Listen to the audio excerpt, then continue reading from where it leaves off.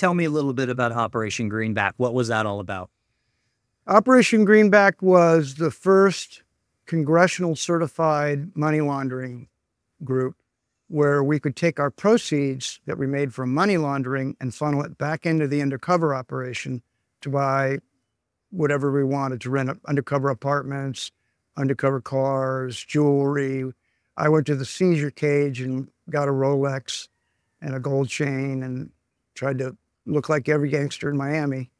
And um, we, uh, so we had it pretty good. I mean, I had a 280 ZX, brand new 280 ZX I was driving around and and John was the main undercover agent. I was more the administrator. I did some light undercover stuff with him, kind of a, acted like his gopher a lot of times. But did you like undercover? I did not like it. Yeah. Why not? Uh, I didn't like the way I, I saw that how the undercovers were kind of used and abused a lot, you know? Mm-hmm. And, you know, when I first went on, people told me, you know, any mon- any monkey can buy dope. Any money, any I can send a monkey in to go buy dope. You know, uh, be, being undercover was no big deal. In fact, it was kind of, you know, like on the lower totem pole of, of, of stuff. And uh, at that time, I just, and, and I, I think John kind of turned me off because John, uh, IA did an invest, somebody made an accusation against John and IA did an investigation of him and it interrupted our case for a while. And I, I saw, you know, and I saw the way he was treated by IA and uh, I was interviewed by him and I wasn't treated any nicer. And uh, I just, I saw it as a way to get in trouble, you know, for bad things to happen.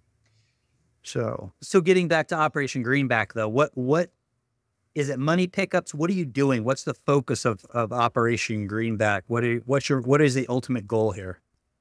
well, we had different groups doing different things, but like I think you and I spoke about one of my old partners, Bob Starkman.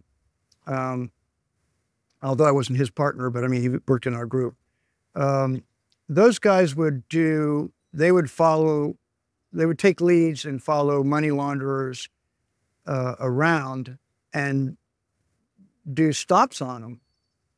At that time, remember, the Colombians were, there was plenty of Colombians in Miami with a visa.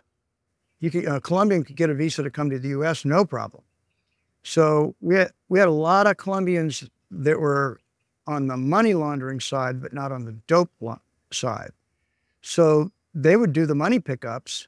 We through an intel, we'd find out who they were, wiretaps, surveillance, typical stuff, and we'd find out who they were, and we'd sit on a house, sit on a car, whatever it was, and try to take them off. And we'd we'd stop them, do a 1050 on them, and uh, they'd have you know a million dollars in the trunk, and we'd ask them like, "Where'd you get this money?" Because they'd always give a consent, and and it, it was always a consent search, and because we really didn't have a whole lot of PC at tw- uh, you know. Anyway, uh, they'd consent, and we'd pop the hood or pop the trunk rather, and uh, there'd be you know a million dollars in there, and we'd say, "Whose money is this?" I don't know. I'm just driving the car over to you know Aunt Susie's house or whatever. Well, how about we keep it for, for safekeeping? And and uh, yeah, I guess that's okay. And uh, then they, after a while, they started asking for receipts for it because at, the- at the beginning they didn't even want to have a receipt Mm. because they didn't want to give their name up. Oh, okay. Okay. But the, but the goal of Operation Greenback was essentially you guys were cutting off the money supply. We were we were going after. Our focus was to go after the money, Okay. strictly the money.